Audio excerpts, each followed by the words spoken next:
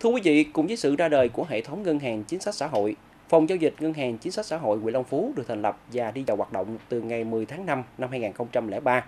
Trải qua 20 năm hình thành và phát triển, Ngân hàng Chính sách Xã hội huyện luôn thực hiện tốt chức năng nhiệm vụ của mình,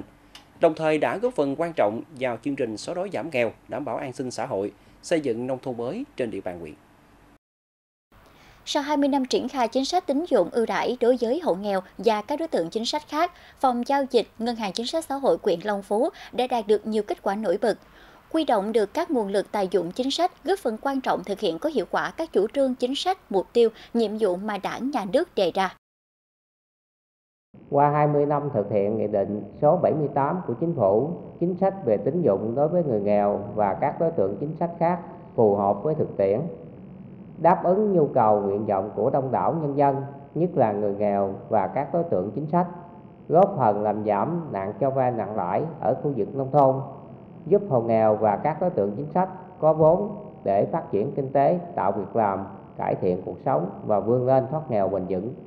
Anh Lâm Sinh ở ấp Co Cô, xã Tân Hưng, trước đây là hộ nghèo, khi lập gia đình ra riêng chỉ được 10 công ruộng, nhưng cuộc sống vẫn thiếu rất hụt sao. Đến năm 2017, thấy anh chí thú làm ăn, chính quyền địa phương đã tạo điều kiện cho vay vốn từ Ngân hàng Chính sách Xã hội quyện với số tiền 40 triệu đồng để phát triển kinh tế. Với số tiền này, anh mua hai con bò cái về nuôi. Nhờ đầu tư đúng mục đích và tiết kiệm trong chi tiêu, anh đã trả hết nợ cho ngân hàng. Năm 2020, anh tiếp tục được dây thêm 100 triệu. Anh mua thêm 3 con bò cái và đất để trồng bùn bùn. Hiện tổng đàn bò của gia đình đã phát triển được 11 con. Qua nhiều năm tích lũy, anh mua thêm 15 công ruộng, nâng tổng diện tích lên 25 công. Trước tiên ờ, gia đình của tôi rất là khó khăn, rồi ờ, tôi nhờ ờ, chính quyền địa phương với xã với tổ gia vốn cho tôi gia vốn ngân hàng chính sách để phát triển gia đình. Trong 20 năm thực hiện tín dụng chính sách theo Nghị định số 78 của Chính phủ, Ngân hàng Chính sách Xã hội quyện Long Phú đã giúp cho gần 60.000 lượt hộ nghèo và các đối tượng chính sách khác được tiếp cận nguồn vốn tín dụng ưu đãi với doanh số cho vay đạt gần 900 tỷ đồng. Nguồn vốn tín dụng chính sách đã được đầu tư đến 100% xã thị trấn trên địa bàn huyện, giúp cho hơn 13.000 lượt hộ nghèo, hơn 4.500 lượt hộ cận nghèo, hơn 4.200 lượt hộ mới thoát nghèo được dây vốn, góp phần giúp cho hơn 21.000 hộ thoát nghèo, thu hút tạo việc làm cho hơn 2.900 lao động, giúp cho hơn 6.000 học sinh sinh viên có hoàn cảnh khó khăn được dây vốn học tập, hỗ trợ xây mới và cải tạo hơn 17.000 công trình nước sạch vệ sinh môi trường ở nông thôn, hỗ trợ xây dựng sửa chữa hơn 1.900 ngôi nhà cho hộ nghèo. Thì năm à, 2012 gia đình tôi hộ thuộc hộ nghèo cũng gặp khó khăn cũng nhờ cái ngân hàng chính sách à, xã hội Ờ, à, coi như hỗ trợ cho con tôi ờ, được dây số tiền để đi học trong thời gian 4 năm.